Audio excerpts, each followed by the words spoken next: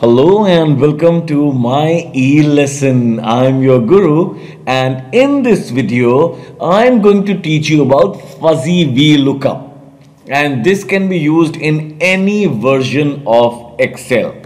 Alright, I'm currently using Excel 2019 but you can use any version. Let me show you how it works with an example first of all then I will teach it to you. So I have the company name over here and here are some values of those companies. So this is Pizza Hut 25, Samsung 40, Marvel 50, Apple 100, 24 bar 7, 23 and Subway 35. Now over here I have typed in pizza and I have got the answer for Pizza Hut.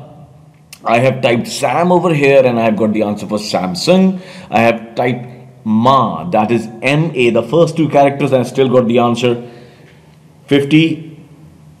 I have got the answer for apple as 100 for PLE, the last three letters.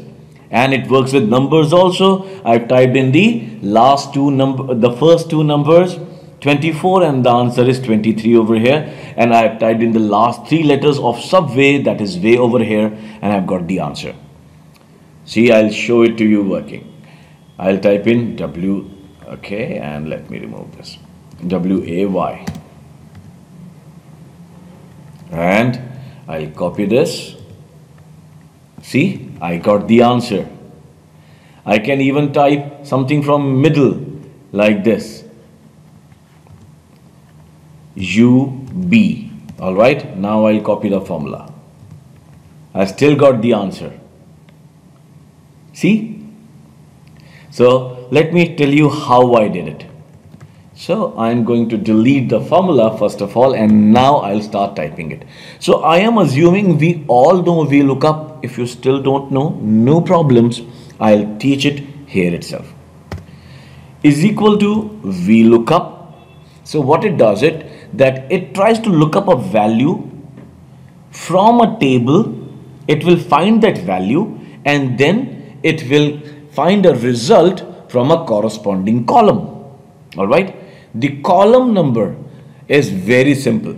The column number would always be starting from the lookup value. So this would always be column number one. So let's start with VLOOKUP. So it says lookup value. So what are we looking up? Pizza. Correct? Comma, table array. Table array means that area in Excel where your data which is the lookup value and the possible answer may be located. So select the complete data like this one. Okay. Now I am going to press F4 to fix this data so that when I drag this down, it will work. All right. In case you are using a laptop, then a direct F4 might not work. Then you would have to press the F N key which should be somewhere around your space bar in a separate color along with the F4 key. So as soon as I press F4 so this data gets locked. So if I copy it it will still be looking at this range only comma column index number. So it says okay I will try to find this value in this data. Now once I found it what answer should I give to you? So we say that we need this answer. So this answer is located in which column? So for VLOOKUP, the column number would be 2 because this is column number 1 for it. Why is this column number 1 for it?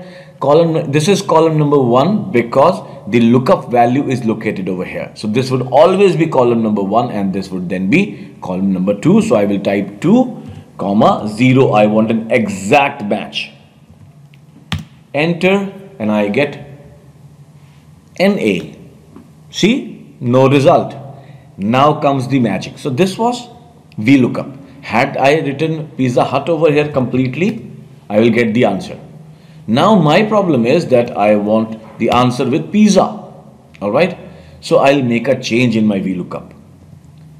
What I'm going to do is I'm going to add fuzzy logic to it. Okay to add this fuzzy logic, I am going to edit this formula. I can double click over here to edit it or I can edit it from here or I can click over here and press F2. Now I'll go to the start of this formula and I will type the quotes symbol, press an asterisk symbol, enter the quote symbol and use the ampersand sign to join this. Then at the end of the lookup value which is cell number F5, I will again open quotes, enter asterisk, close the quotes, press enter. Oh, sorry, I forgot to join it. I have to join it. And I get my answer. See, I'm going to copy it down. It works. Isn't this cool? So what we did was this fuzzy logic thing is that this asterisk symbol adds a wildcard to this lookup value. So if there is anything written before pizza or after pizza, VLOOKUP is going to consider that as an answer for this. So two wildcards, that is two asterisks before and after the lookup value tell VLOOKUP that no matter what is written before this or after this, I don't care. You need to find this somewhere over here and give me an answer. Now, this can cause to some trouble also. Why? If I type in Samsung Ma, so you will see that the result for Sam and Ma are the same because it found MA in Samsung hence it is returning 40 for MA otherwise earlier it was returning 50 for Marvels if I'm going to remove MA from here see now we get MA 50 for Marvel earlier we were getting Samsung's 40 for Sam MA you got my point so this is how fuzzy logic works. With VLOOKUP, you add asterisks before and after. Now depending upon your condition, you might choose to enter only one asterisk either before or after. So depending upon your data type. Alright. Now don't forget to go to myelesson.org to download this file because you want to practice along, right? And in case this video has helped you, do like it and share it with your friends.